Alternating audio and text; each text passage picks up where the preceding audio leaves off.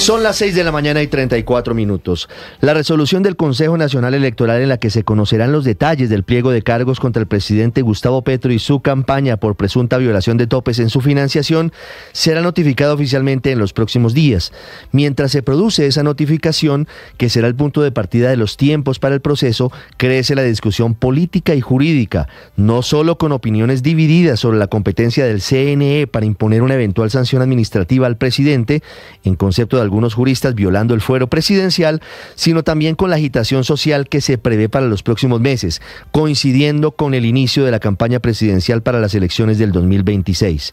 El gobierno nacional decidió recorrer el mismo camino que fue exitoso para ellos y para Gustavo Petro cuando fue destituido de su cargo como alcalde de Bogotá por el entonces procurador Alejandro Ordóñez en diciembre del 2013. En esa oportunidad también decidió pedir medidas cautelares ante la Corte Interamericana de Derechos Humanos y está haciendo un llamado a movilizaciones y asambleas permanentes. En ese momento fue el balcón. Hoy convocan los sindicatos marcha para el próximo 23 de octubre en Bogotá. La discusión jurídica gira en torno a si el Consejo Electoral tiene o no la facultad para investigar y sancionar administrativamente al presidente Gustavo Petro. Aunque la defensa del jefe de Estado argumenta que él goza de la figura del fuero de atracción, que implica que cualquier investigación en su contra debe ser enviada automáticamente a la Comisión de Acusación de la Cámara de Representantes, recientes fallos de la Corte Constitucional y del Consejo de Estado, uno de ellos conocido noche, ratifica la competencia del CNE para avanzar en el proceso, que en cualquier caso únicamente llegaría hasta la imposición de una multa al primer mandatario.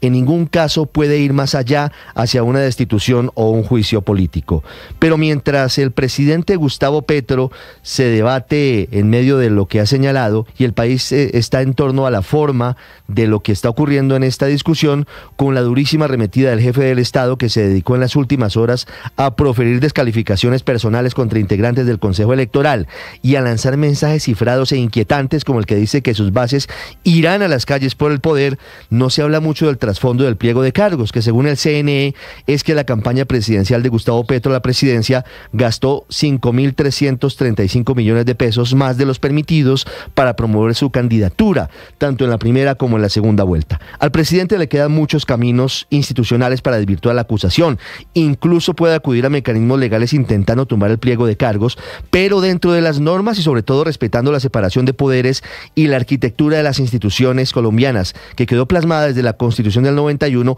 que él dice defender. Paola